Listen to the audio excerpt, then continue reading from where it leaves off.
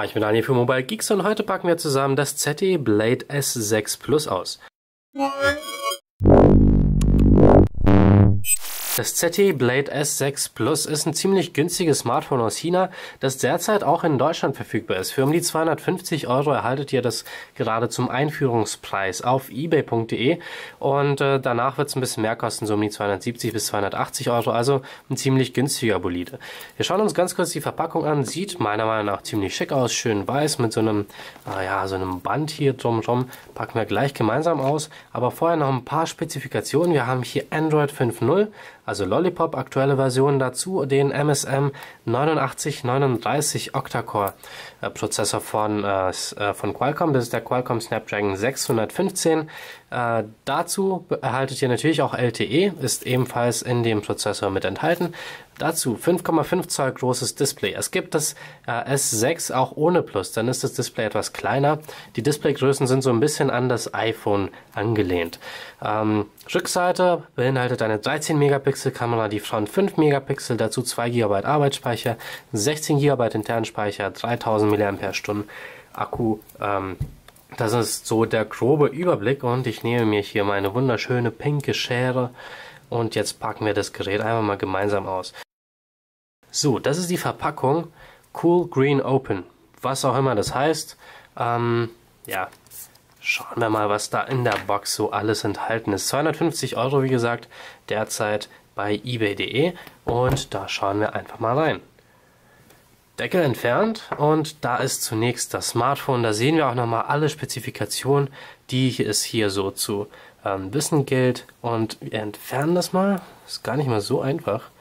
Ähm, ja, so. Legen das ganz kurz zur Seite. Schauen uns gleich das Ganze nochmal genauer an. Ähm, so, was haben wir hier? Einen Quickstart Guide. Den brauchen wir jetzt nicht. Und dann ist hier wahrscheinlich noch ordentlich Zubehör. Wir schauen zuerst in die große Box rein. Oh, da, da, da. Da ist nur ein Kabel drin. So eine große Box für so ein Kabel. Okay, alles klar. Ähm, Micro-USB-Kabel sieht ganz gewöhnlich aus. Weißes Kabel, alles klar, weggelegt. Und dann haben wir hier ein Ladegerät. Auch gut.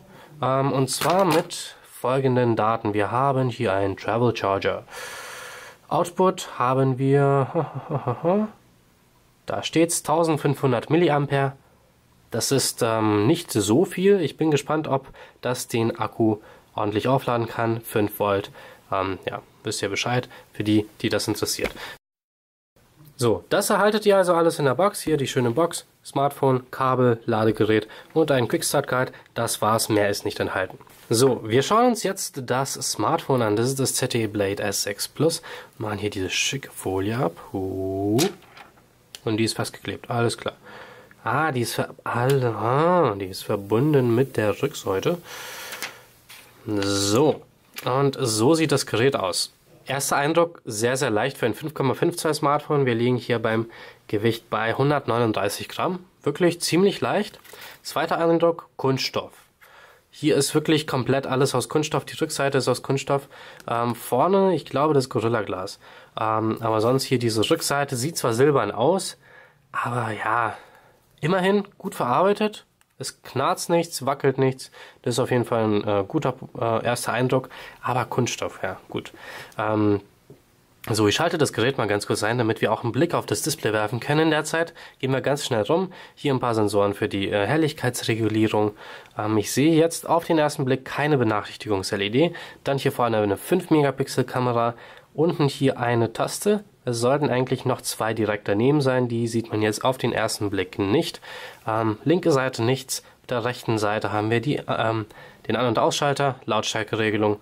Oben ein Infrarot.